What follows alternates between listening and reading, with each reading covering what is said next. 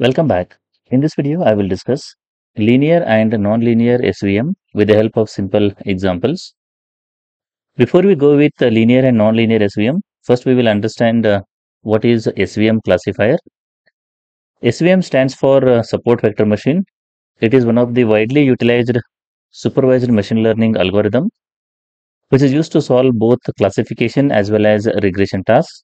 Classification means uh, given target has a discrete number of possibilities like yes or no. Regression task means the target contains the continuous uh, values.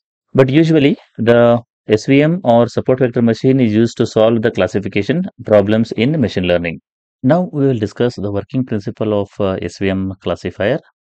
Given the dataset with multiple number of classes, uh, in this case we have been given a dataset with uh, two classes. One is represented with uh, red circles, another one with uh, green triangles here.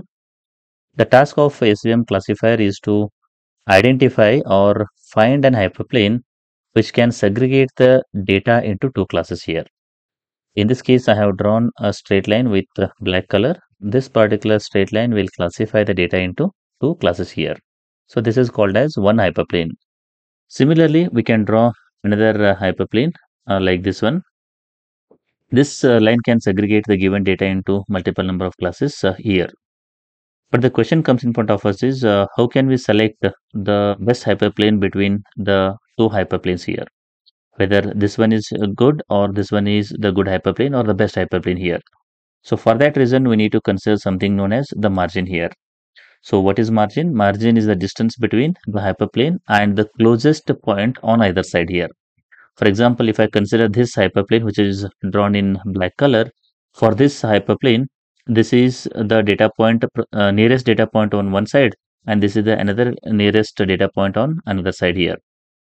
Now what we need to do is we need to calculate the perpendicular distance here. So this is the perpendicular distance. So this distance is called as what? The margin on either side of the data set here let's say that uh, this margin is uh, a here now what we need to do is similarly we have to calculate the margin for the second uh, hyperplane here. For that is uh, the one which is drawn in red color. For this one uh, this is the nearest data point on green side and this is again the nearest data point on the red side here. Again we have to calculate the perpendicular distance. This is the perpendicular distance and this is the perpendicular distance. So this is the margin for the second hyperplane or the hyperplane which is drawn in uh, red color. For this one, uh, we will say that uh, the margin is equivalent to B here. Now, if you compare the margin A and B, the margin A is more than the margin B here. The meaning of this one is uh, between these two hyperplanes, the hyperplane which is drawn in black color is the best one because we are getting maximum margin in this case. So what we need to do in SVM classifier is we need to draw all possible hyperplanes and then we need to calculate the margin the hyperplane with the maximum margin will be considered as the best hyperplane to classify the given dataset into multiple number of classes here. So this is how the SVM classifier works.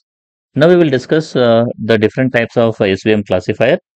There are mainly two types of SVM uh, algorithms we have. One is known as linear SVM.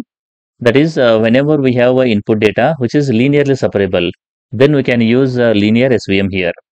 You can notice that in this uh, diagram, in this case, uh, the data set contains two classes. One is represented with red circle, another one is represented with green circle. Uh, we can draw a straight line so that we can classify or divide this data into two classes here. So whenever we have been given such kind of data, we can apply linear SVM here. Now coming back to the second uh, type of SVM that is known as non-linear SVM. Whenever the input data is not linearly separable, if you look at this data set, Again, it has two classes. One is represented with red circle, another one with uh, green circle here. But in this case, we cannot draw a straight line to classify this data into two classes here. That is not at all possible. So that's the reason uh, such kind of uh, support vector machine is called as non-linear SVM here. We cannot draw a straight line to classify this data set into two classes here. Now the question comes in front of us is how to solve such kind of problem.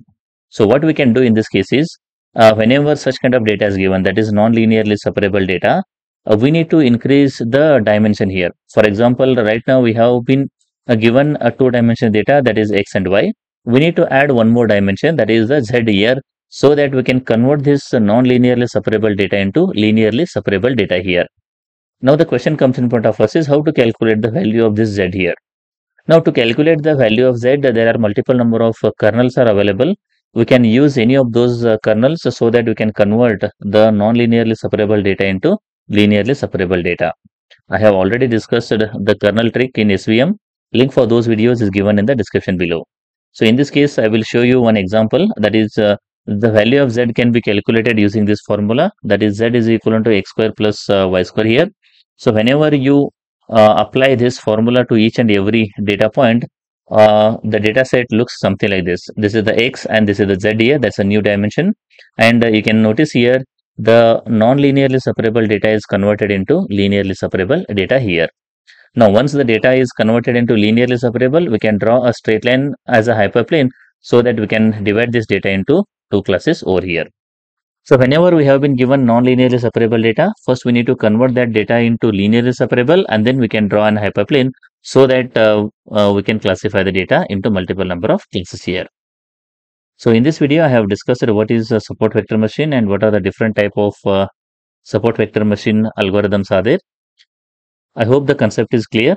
If you like the video, do like and share with your friends. Press the subscribe button for more videos. Press the bell icon for regular updates. Thank you for watching.